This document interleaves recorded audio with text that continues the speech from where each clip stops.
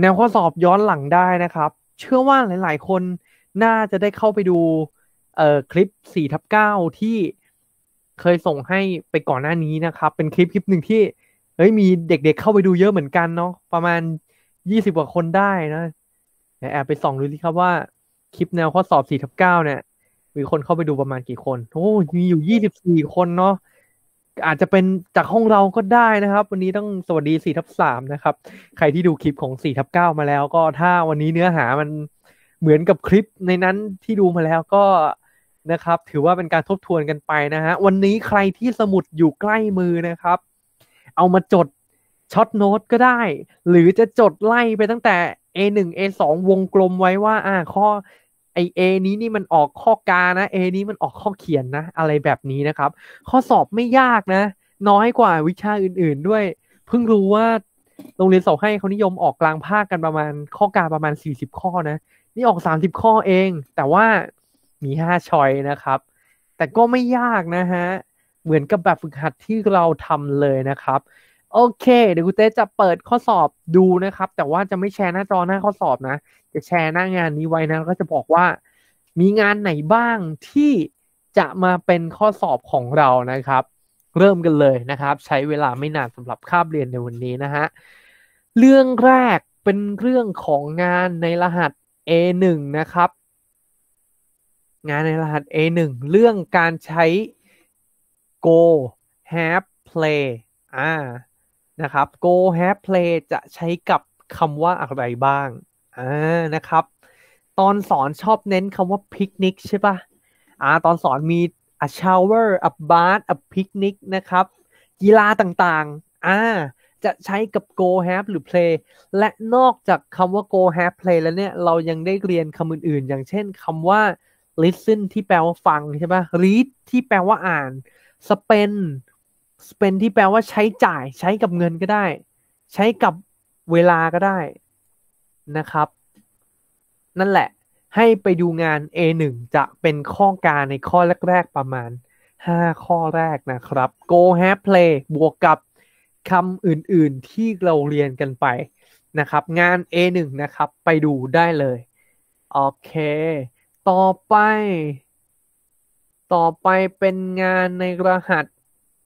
คือ A1 A2 มันเป็นเรื่อง go have play เนาะ A1 มันทำลงในสมุด A2 มันจะทำลงใน Google Form นะครับ ก็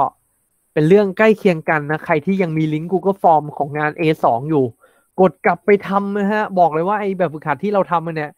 ยากกว่าข้อสอบอีกนะครับ ต่อไปจะเป็นเรื่องของ grammar ของบทที่หนึ่งนะครับ เรื่องของ present simple ให้ดูควบคู่ไปกับงานในรหัส A3 นะครับ งานในรหัส A3 งานในรหัส A3 present simple เนี่ยจำได้ว่างานในวันนั้นเราเราเรียนเกี่ยวกับ present simple ที่เป็นเรื่องเกี่ยวกับประโยคบอกเล่ากับประโยคปฏิเสธ ใช่ปะที่เราจะเรียนว่าประธานเป็น I U V day อ่ากริยาเป็นยังไง ประธานเป็น he she it นะ ประธานตัวเดียวนะกริยาเติม s นะ ถ้าเป็นรูปครับคำไม่ใช่เป็นรูปคำถ้าเป็นรูปประโยคปฏิเสธ ประธานเป็น I U v d ใช้ don เป็น he she it ใช้ doesn อะไรอย่างเงี้ย มันจะมาอยู่ครับ ลักษณะจะคล้ายๆกับ เอ่อข้อสอบในรหัส ในรหัส A7 เนาะเรื่อง present simple ที่มันจะมีเซตของคำมาให้ เป็นเช่นเป็นคำว่า like อย่างเงี้ย เป็นคำว่า like ก็จะต้องดูว่าประธานเป็นคำว่าอะไรเป็น like เป็น don't like เป็น like เติม s หรือเป็น doesn't like ก็ต้องเลือกให้ถูกอยู่ที่ประธานครับ และแต่และในโจทย์มันจะมีเครื่องหมายบวก ซึ่งหมายถึงประโยคบอกเล่า เครื่องหมายลบหมายถึงประโยคปฏิเสธนะครับ เลือกคำไปเติมให้ถูกต้องเป็นข้อกาครับ คล้ายๆกับแบบหัดที่เราเคยทำ กันเลยนะครับ ไม่น่ามีอะไรยากนะคะ ในจุดนี้สามารถเปิดสมุดงานในรหัส A3 ดูไปได้ด้วยเลยนะครับ ไม่ยากไม่ยาก ต่อไปอ่าฮะต่อไปนะครับเป็นเรื่องของการจับคู่ ระหว่างประโยคคำถามและประโยคคำตอบ เหมือนกับแบบฝึกหัด A7 ที่เราเคยทำเลยถ้าในสมุดเนาะในสมุด มันจะอยู่ในงานรหัส A5 และ A6 ครับอ่า A5 และ A6 เนี่ย เราลงลึกกันในเรื่องของประโยคคำถามในในรูปประโยค present simple เนาะอ่า who what where when why ที่ชอบเน้นๆไปตอนตอนเราเรียนกันคือชอบเน้นว่า what time คือถามเวลา ถาม what time เนี่ยต้องตอบมาเป็นตัวเลขบน บนนาฬิกาเนาะถ้าถาม when จะตอบเป็นช่วงเวลาอะถาม why ก็ต้องตอบทำไม ถาม where ต้องตอบที่ไหน ถาม who ก็หมายถึงใคร อันนี้ไม่น่ายากเหมือนกับแบบฝึกหัด A7 เลยนะครับ สามารถดูงานในรหัส A5 A6 ควบคู่กันไปได้เลยนะครับสำหรับมีทั้ง yes no question นะครับ do does นะฮะแล้วก็ WH question นะครับ who what where when why มีคำถามมาให้คำถามจะเป็นโจทย์ ให้เลือกช้อยที่เป็นคำตอบที่จะสอดคล้องกับโจทย์ที่ให้มา ให้ได้อย่างถูกต้องนะครับ ประมาณ 4-5 ข้อ ไม่น่ายากนะฮะ ดูงานในรหัส A5 A6 ในสมุดควบคู่กันไปได้เลยอ่าจบไปแล้วสำหรับ A1 เนาะ A1 ก็จะมีเรื่องที่ 1 go have play กับคำแถมๆ พวก spend พวก read พวก watch พวก listen นะครับ เรื่องที่2เป็นเรื่องของ present simple อ่าประโยคบอกเล่ากับประโยคปฏิเสธนะครับ เลือกคำมาเติมให้ได้อย่างถูกต้องสอดคล้องกับประธานของประโยคนะครับ ให้ดูงานในรหัส A3 ควบคู่ไปด้วยเราจะได้รู้ว่าประธานตัวไหน ใช้ รูปคำกริยาคำไหนนะครับ present simple verb ช่วงที่หนึ่งนี่เหมือนจะเหมือนจะง่ายแต่จริงแล้วมีความซับซ้อนในเรื่องของคำกริยาเติม s ไม่เติม s อยู่ และเรื่องสุดท้ายของบทที่หนึ่งครับ เป็นเรื่องของการจับคู่ประโยคคำถาม และประโยคคำตอบที่ถูกต้องสอดคล้องกันทั้ง who what where when why does do นะครับ มาหมดเลยอะจบไปแล้วสำหรับบทที่หนึ่งขึ้นบทที่สองกันบ้าง บทที่สองใครที่จำกันได้ที่เราเรียนกันไปเนาะจะเป็นชื่อบทชื่อเรื่องว่าฟู้ดนะครับฟู้ดที่แปลว่าอาหารเนี่ยแหละนะฮะและเรื่องของอาหารมันจะไปเกี่ยวข้องกับคำนามนับได้คำนามนับไม่ได้นะครับ มาดูกันที่งานในรหัส A8 นะครับ ใครที่มีสมุดอยู่นะครับ เปิดไปที่งาน A8 เนาะจะเป็นเรื่องของคำศัพท์ที่เราเรียนกันในบทที่2นะครับเป็นเรื่องของอาหารต่างๆ และนอกจากอาหารที่เราเรียนกันไปแล้วเนี่ย ยังมีเรื่องของฟู้ดคอนเทนเนอร์หรือภาชนะ ที่จะใช้กับอาหารที่ส่วนใหญ่มันจะเป็นคำนามที่นับไม่ได้นะครับ ว่าอันนี้มันต้องอยู่ในกระป๋องนะ อันนี้มันต้องอยู่ในในขวดนะ อันนี้ต้องอยู่ในขวดโหลนะ อะไรอย่างนี้นะครับ อ่า ออกข้อสอบประมาณสี่ถึงห้าข้อนะฮะ ไม่ยากมีทั้งเรื่องของเอ่อ package food container can tin jar bag carton นะครับ มาหมดเลย ทั้ง choice ทั้งเอ่อทั้ง choice ทั้งคำถามนะครับ และก็เรื่องของเอ่อ at the supermarket เนาะคำศัพท์ที่เกี่ยวกับซูเปอร์มาร์เก็ตเอ่อทรอลลี่รถเข็นเชลชั้นวางของเช็คเอาท์แคชเชียร์อ่าก็จะมาอยู่ในเรื่องของคำศัพท์บทที่สองนะครับ ประมาณ 5 ข้อแรกนะฮะ ก็ให้ไปดูงานในรหัส A8 นะครับ มีครบเลยทีเดียวนะฮะอ่า A8 กับ A9 เนาะ A8 เราจะจดลงในสมุดเนาะส่วน A9 มันจะเป็นการทบทวนของ A8 อีกทีหนึ่งที่จะทำลงใน Google Form เออบอกเลยว่า A9 เนี่ยง่ายกว่าในในข้อสอบเลยนะ ถ้าใครทำแบบฝึกหัด A9 ใน Google Form เนี่ยก็สามารถทำข้อสอบได้อย่างง่ายได้เลยทีเดียวนะครับบทที่ 2 เป็นเรื่องที่เชื่อว่าส่วนหนึ่งน่าจะเคยเรียนกันมาแล้วตั้งแต่ประถมมต้นเลยอย่างนี้เนาะเรื่อง คำนามนับได้นามนับไม่ได้นะเรื่องของฟู้ดคอนเทนเนอร์เนาะต่อไปนะฮะบทที่สองจะเป็นเรื่องของนี่ครับ เรียกว่าเรื่องของ some any much many ให้ดูงานในรหัส A10 A11 เนาะจำได้ไหมฮะ some any ใช้แตกต่างกันอย่างไร some ใช้ในประโยคบอกเล่าเนาะ any จะใช้ในประโยคปฏิเสธประโยคคำถามนะฮะ อ่าในงาน A10 เนี่ยเราจดไปแล้วนะครับ และก็การใช้ much กับ many much ใช้กับคำนามที่นับไม่ได้ many ใช้กับคำนามที่นับได้ ข้อสอบจะมาเป็นบทสนทนาครับอ่าเป็นบทสนทนาให้เราเติม some any much many และคำว่า a lot of 5คำนี้เป็น 5 ช้อยนะครับ เติมลงไปในช่องว่างให้ได้อย่างถูกต้องนะครับ ไม่ยากให้ดูว่า ไอ้คำที่มันเว้นไว้เนี่ย ในประโยคนั้นเนี่ย มันเป็นประโยคประเภทอะไร เป็นบอกเล่าปฏิเสธหรือคำถาม และสิ่งของที่อยู่ในโจทย์นั้นเนี่ย มันเป็นคำนามที่นับได้หรือนับไม่ได้ เท่านั้นเองก็จะเลือกคำตอบที่ถูกต้องได้ว่าจะเป็น some เป็น any เป็น much many หรือเป็น a lot of นะครับ ตรงเนี้ยไม่ยากนะฮะ ดูงานในรหัส A10 A11 ควบคู่กันไปได้เลยนะครับ และก็ อ่า จะจบ จะจบ เอ่อ ข้อสอบบทที่สองเรื่องงานในรหัส A12 ครับ เรื่อง article a and the และก็คำที่ไม่มี article นะครับ อย่างที่บอกไปตอนที่เราเรียนงานในรหัส A12 นะครับ ข้อสอบ ข้อสอบเรื่องนี้จะจะง่ายมากนะครับ ง่ายกว่าแบบฝึกหัดที่เราทำอีก มีข้อสอบข้อหนึ่งเป็นชื่อประเทศ ไม่บอกนะว่าเป็นประเทศที่แบบ ทั่วๆไปหรือเป็นประเทศที่แบบเป็นสาธารณรัฐนะครับ อันอันอีกอันนึงนะครับจะจะเป็นการกล่าวซ้ำนะครับ ไม่บอกว่าจะเว้นประโยคหน้าหรือประโยคหลังไว้ให้เติมนะครับ เป็นการพูดซ้ำนะครับ อ่า ไปดูกันดีๆว่า จะใช้คำไหนดี อีกข้อสองข้อไปดูเอาเองนะครับ ว่าจะใช้ article คำไหนดีนะครับ ไม่ยากนะครับ ถ้าถ้าวันนั้นเราจดเราจดงาน A12 อะไอ ตรงที่สรุปไปแล้วอะนั่นแหละ นั่นแหละคือ คือทุกอย่างของข้อสอบ แล้วก็อย่างที่บอกไว้ว่าข้อสอบเรื่องนี้จะไม่ยากแล้วมันก็จะไม่ยากจริง ๆ ครับ โอเค แล้วเรามาจบข้อกากันด้วยสามข้อสุดท้ายครับ จะมีเนื้อหามาให้อ่านเนื้อหาเกี่ยวกับชีวิตของคนคนหนึ่ง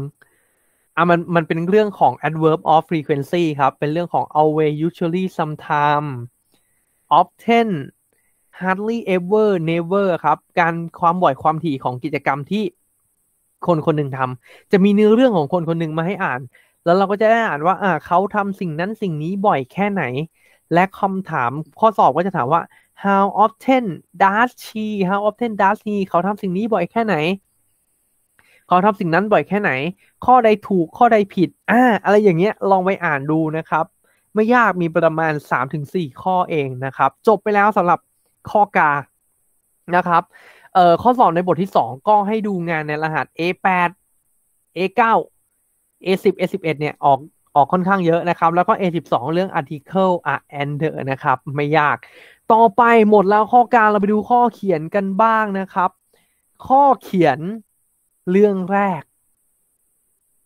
ข้อเขียนเรื่องแรกนะ ให้ไปดูงานในรหัส บทที่หนึ่งในรหัส A5 และ A6 ครับ อ่าจำได้ไหมในรหัส A6 อะ ข้อไม่ใช่ข้อสอบแบบฝึกหัดที่เราทำลงในสมุดอะ จะมีประโยคคำตอบมาให้หน้าที่ของเราคือแต่งประโยคคำถาม เพื่อให้ได้มาซึ่งประโยคคำตอบที่โจทย์กำหนด อ่า โจทย์จะโจทย์จะมีประโยคคำตอบมาให้ ให้เราแต่งประโยคคำถามนะครับ ประมาณงานในรหัส A6 เลยอะอะไปดูเลยครับ งานในรหัส A6 นะครับ ใครที่มีสมุดวงไว้เลยว่า อันนี้ข้อเขียนนะแต่งแต่งประโยคคำถาม ให้สอดคล้องกับประโยคคำตอบที่ให้มานะครับอ่าสิ่งที่ไม่อยากให้ลืมนะ ถาม U ตอบ I นะครับเออถามเป็นชื่อคนอะไรอย่างเงี้ยนะครับ เป็น he เป็น she เราจะต้องใช้อะไรถาม I ตอบ you ถามถาม you มาตอบ I อะไรอย่างเงี้ยนะครับ ถามยัวตอบไม่เออ อะไรอย่างเงี้ย อย่าลืมนะครับ แล้วก็เรื่องคำกริยาเติม s ไม่เติม s ถ้ามีดูมีดาแล้วด้วยนะครับ อย่าผิดเนาะจำได้ว่า ตอนเราทำงานในรหัส a a7 เนี่ยนะในในในข้อเขียนเรื่องของการแต่งประโยคคำถามเนี่ย จะผิดกันเยอะเรื่องเติม s นะครับ ก็อย่าผิดในข้อสอบกลางภาคนะครับ เพราะว่ามันทำซ้ำไม่ได้นะครับ ถ้าทำซ้ำอาจจะเป็นการซ่อมข้อสอบซึ่ง คะแนนอาจจะไม่ได้เยอะเท่ากับการที่เราตั้งใจทำรอบแรกให้ได้แบบพุ่งๆไปเลยเนาะและข้อเขียนข้อสุดท้ายนะครับ ข้อเขียนข้อสุดท้ายเป็นเรื่องของการแต่งประโยค some any ที่ถามว่ามีหรือไม่มี ให้กลับไปดูงานในรหัส A เท่าไหร่วะ some any อะงานรหัส A10 นะครับจำประโยคตัวอย่างที่ครูให้จดจากในวิดีโอได้ไหม are there any eggs in the picture อ่า no there aren't any eggs อ่า อะไรอย่างนั้นเราจะต้องเอาประโยคนั้นแหละนะครับ เปิดงานในรหัส A10 ดูควบคู่ไปได้เลยนะฮะ ทั้งตัวอย่างประโยคข้างบนแล้วก็เอ่อประโยคที่อยู่ในในแบบฝึกหัดท้ายท้ายเนื้อหาบทที่สิบอะครับ ที่ให้แต่งประโยคกับการใช้ some any อะครับ ก็ไม่ยากเนาะจะมีแบบ แบบในวิดีโอเลยไปมีรูปภาพอาหารรวมๆมาให้ แล้วเราก็จะต้องถามว่า อ่ามีสิ่งนู้นสิ่งนี้อยู่ในรูปภาพนี้ไหม มีเนื้อไก่หรือเปล่า อ่าเออ is there any ตึ๊ดตึ๊ด are there any ตึ๊ดตึ๊ดเออ yes there is no there isn't yes there are any เอ้ย yes there are some อะไรอย่างเงี้ยนะครับ เนี่ย ดูงานในรหัส A10 ไปได้เลยนะครับ ก็จะเป็นข้อสอบข้อเขียนนะครับ สรุปข้อสอบข้อเขียนให้ดูงานในรหัส A6 กับ A10 นะครับควบคู่ไปได้เลยแม่ถ้าไม่เกรงใจห้องอื่นเนี่ย บอกเลยว่าจะพิมพ์ละพิมพ์รหัสงานเข้าไปในข้อสอบใน Google Form ให้แล้วนะ โอเคนะ แต่ห้องอื่นจะไม่รู้กันกับเราเนาะแต่เรารู้กันนะครับ วันนี้โอ้โหแทบจะสปอยข้อสอบเลยทีเดียว โอเคครับเด็กๆ เดี๋ยวดูกันอีกทีนะว่าเราจะสอบ สัปดาห์หน้าหรือสัปดาห์นู้นเนาะแต่เป็นไปได้ก็สัปดาห์หน้าดีกว่าเนาะเพราะว่าตอนนี้เนื้อหาบทที่หนึ่งบทที่สองนี่เราจัดเต็มกันมาหมดแล้ว ตอนนี้เรากำลังแบบว่าร้อนวิชานะครับ โอ้โหวันนี้ ขอขอบคุณมสี่ทับสามทุกคนนะครับ ที่มาร่วมกันฟังแนวข้อสอบในวันนี้นะ ถึงแม้ว่าเราจะยังไม่ได้หนังสือนะ แต่สมุดที่เราจดไปเนี่ยดูได้นะครับ ใครอยากได้คลิปไหนที่เราเรียนด้วยกันเนาะทั้งคลิป เอ่อรอบเทปบันทึกภาพที่เราเรียนด้วยกันนะครับ ไปดูในช anel ของครูได้ แล้วก็อยากดูคลิปที่เราเรียนด้วยกันที่ใช้ประกอบการเรียนอย่างเช่นคลิป คุณครูฝรั่งสอนเรื่อง some any much many นะครับ ก็ไปหาดูกันได้หาไม่เจอมาขอครูก็ได้เช่นกันนะครับ โอเค นะฮะ เนื้อหาหมดแล้วนะครับ เดี๋ยวสัปดาห์หน้าเนี่ย สอบกันเลยดีกว่า เดี๋ยวนัดสอบในคาบเรียนนะครับ หรือนั่นแหละ น่าจะให้เสร็จในคาบเรียนเราจะได้ ไม่รบกวนเวลาเนาะโอเคครับ วันนี้ต้องขอขอบคุณสี่ทับสามแล้วขอกดปุ่มเช็คชื่อก่อนนะฮะใครมีคำถามอะไรนะครับ ถามนึกตึ้งได้ตอนนี้ถามตอนนี้ก็ได้ หรือนึกขึ้นได้จะมาถามลงในกลุ่มก็ได้เหมือนกันนะครับ เพื่อนจะได้รู้ๆกันเนาะว่า อ่าตรงไหนที่จะออกข้อสอบเป็นข้อสอบบ้างนะครับ ตอนนี้ใครที่ยังไม่ได้ส่งสมุดนะครับ ก็สามารถมาส่งกันได้นะครับโอ้โห บางคนมาส่งกันตอน เที่ยงคืนหนึ่งตีสามนะครับ รู้สึกสะเทือนใจเหมือนกันเดี๋ยว ครึ่งเทอมหลังจะไม่จะไม่ให้งานเยอะถึงรหัสสิบสองงานขนาดนี้แล้วนะครับ โอเค ไปดีกว่านะครับสี่ทับสามอย่าลืมอ่านหนังสือกันด้วยนะครับ แล้วก็อย่าลืมใช้ข้อสอบ เวลาทำข้อสอบอย่าลืมใช้สมุดที่เราจดให้เกิดประโยชน์นะครับไหนๆก็สอบกันที่บ้านแล้วนะครับ อ่ามีอะไรก็จัดงัดมาใช้ให้ได้อย่างเต็มที่เลยครับ เพื่อคะแนนของเราเนาะ โอเค ไปดีกว่านะครับ ถ้าไม่ปล่อยสักทีเดี๋ยวแถมนะครับ ไปละ บ๊ายบายนะฮะใครไม่มาเดี๋ยวดูย้อนหลังได้นะครับ กดอัดวิดีโอไว้นะฮะ